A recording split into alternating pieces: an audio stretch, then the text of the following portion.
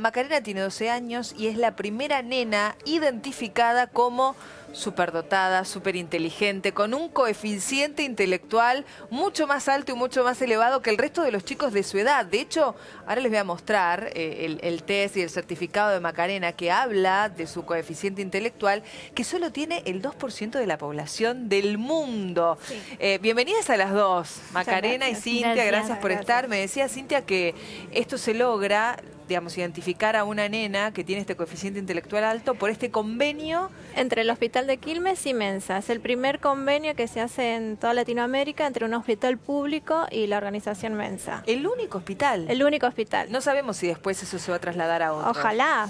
Por, Por ahora, ahora es el único. Acá a través de este convenio podemos hacer la identificación de niños con altas capacidades y llegó la consulta de los papás de Macarena y llegó Macarena. Macarena, ¿cómo llegas? ¿Cómo llega esa consulta? A ver, ¿por qué? ¿Qué, qué pasaba Eh, en tu casa? ¿Qué te decían tus papás? ¿Qué notabas vos? No, en realidad a, a este... O sea, yo ya de chiquita me había hecho otro test. Ajá.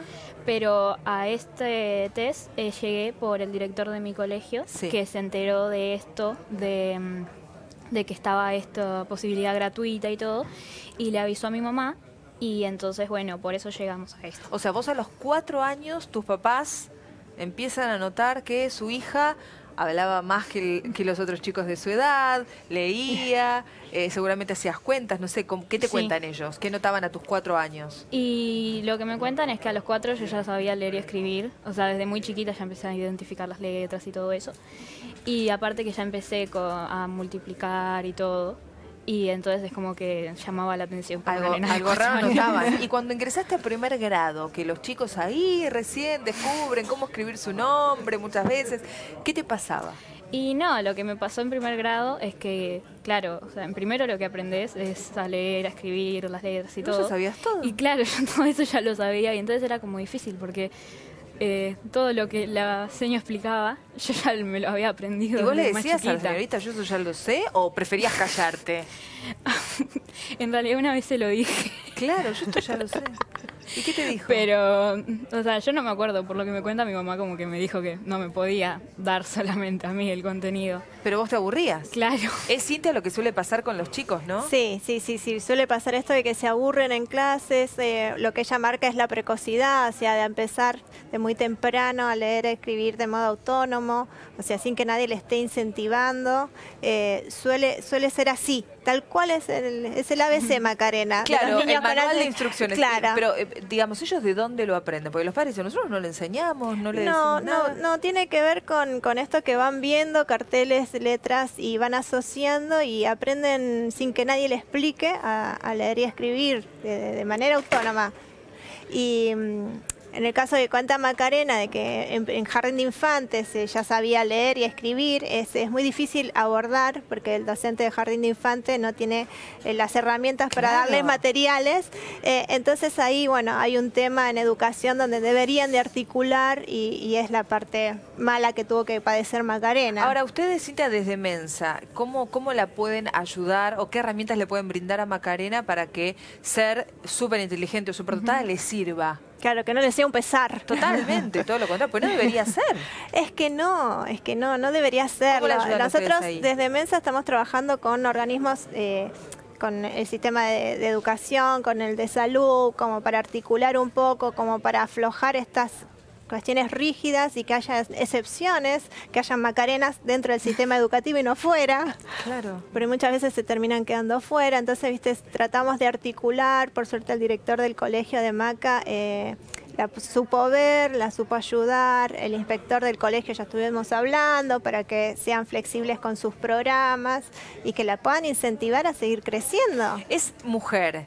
Eh, Yo te preguntaba fuera de, de Sí. cámara, eh, ¿está contenta Cintia con que sea una mujer? Sí. ¿no? Ay, La primera niña súper inteligente. Sí. Pero digo, ¿hay más mujeres que hombres este, que tienen un coeficiente intelectual más alto o es indistinto? No, es indistinto. Lo que pasa es que las, eh, los varones se suelen eh, ir a testear más que las mujeres, pero las mujeres por ahí se terminan, eh, digamos, mezclando. ¿Viste? Ese Ah. efecto pigmalión de la mujer, viste que se mezcla, que, que- que se hace, se disimula en el resto. Eh, entonces por ahí es un poco, más difícil identificarlas. Eh, Pero, ella fue, se testió Pero ella dio fue, vino, puso la cara, dijo, acá estoy, soy Maca, y Quiero que me evalúen. ¿Y cómo es esa evaluación? Maca, ¿qué te hicieron en el hospital de Quilmes, Iriarte? Y no sabría describirlo como es el ¿Te, test. te hacen preguntas? ¿Te hacen No. completar algo en un papel? Sí, era... ¿Seguir una Sí, es- secuencia Sí, de como algo? secuencias eran. Y, y tenías que completarlo usando la lógica. Claro, lo que falta, ¿no? Claro. Habitualmente te dan como figuras y si falta algo, Claro. qué palabra pondrías. Fue simple, lo terminaste rápido. Eh, mm, o sea, algunos sí, pero otros no lo Otros no tan fácil. ¿Y qué sentís vos con este título, no? Que de repente tenés de niña súper inteligente, súper dotada. No sé, yo sigo siendo la misma. Sos la misma. ¿Te alegra? ¿Sentís vergüenza cuando estás con tus compañeros o con tus amigas? Eh, en ¿Se lo realidad contaste a ellos? todavía no volvimos a clase. Ah, no, pero ya, ya lo vieron mis compañeros. Ya lo vieron. Y, pero, y tenés amigas, calculo, mucho más allegadas a vos, con las que tenés más confianza y les puedes Sí. decir, che, me hice un test y el test dice que soy súper inteligente. ¿Cómo lo tomaron? Eh, no, en realidad yo nunca había comentado nada. Se enteraron ayer. Ah, Pero, o sea, reaccionaron bastante bien. A mí la verdad que me daba miedo. te daba miedo, ¿no? Porque... O que te pudieran cargar. Claro. Y entonces fue como difícil, pero al final reaccionaron bastante bien, así que... Bien, eso lo celebramos. Eh, bueno, a Macarena, como yo les dije, le hicieron un- una evaluación. Acá tengo yo el certificado, lo vamos a poner en pantalla para que ustedes también lo puedan ver y, así lo compartimos. Miren, ahí está, bueno, el apellido y nombre, la fecha de nacimiento, el DNI, eh, entrevista clínica y test mensa. Dice, de acuerdo a lo analizado en los materiales de evaluación, se computa un percentil 100, lo que equivale a decir que su coeficiente intelectual IQ es igual o mayor a 148, correspondiente al 2% de la población mundial. A ella le dio 155 más o menos. súper elevado. Este puntaje es muy superior al término medio y por ello además implica superdotación intelectual. Así, y por lo antes expuesto, certifico sus altas capacidades intelectuales, lo firman de Mensa y lo firman este, los psicólogos del Hospital de Quilmes. ¿Qué significa, eh, Cintia, em, que una persona tenga altas capacidades intelectuales? ¿En qué cambia su vida, digo, al momento de ir a, la secundaria, a la universidad? Eh, eh, lo- las altas capacidades intelectuales tienen que ver con la forma de aprender. Aprenden rápido. O sea, no necesitan el repetir 50 veces el mismo tema. Con una cuenta ya pueden aprender. eh, tiene que ver con eso, con esa capacidad de aprender. Eh, cuando vaya a la universidad, posiblemente cuestiones que tengan que ver con lo lógico lo va a sacar mucho más rápido. Claro. Con las cosas. Depende de la carrera que elija. ¿Ya sabés, Macarena, qué crees? No, todavía no. No, no estoy muy segura. O sea, todo parece indicar que son más pros que contras, digamos, que Sí. no le generaría, digo, además en su vida diaria, en su día a día. No, el problema es más eh, con cuestión con los vínculos, eh, son cuestiones sociales, ¿viste? Se- ahí es donde por ahí ¿viste? Se, se necesita un poquito más de apoyo. eh, ¿Desde la que- casa? desde la casa, desde, la, ¿Colegio? desde el colegio. Más que nada en la parte emocional es donde necesitas más apoyo. A ver, ¿por qué? Y eso? porque es como que si bien te, te facilitan el tema escolar, es como que también te hace un poco más sensible en cuanto a cómo reaccionás quizá a problemas que te surgen en la escuela o cosas así. ¿Sos más sensible? ¿Vos notás eso? Sí. Que el resto de los chicos. ¿Y eso a qué se debe, Cintia? Tiene que ver con esto, con el coeficiente intelectual. Son personas que les llega todo más, digamos. O sea, algo que por ahí en un niño... Mayor conocimiento, más, sensibilidad. Más todo. sensibilidad, sí. Todo Por ejemplo, potencia. ¿viste los nenes cuando dicen no sos más mi amigo? Sí. Al otro día están jugando Obviamente. juntos. Bueno, en los casos de los chicos con alta capacidad creen que no son más sus amigos. Literal. Literal.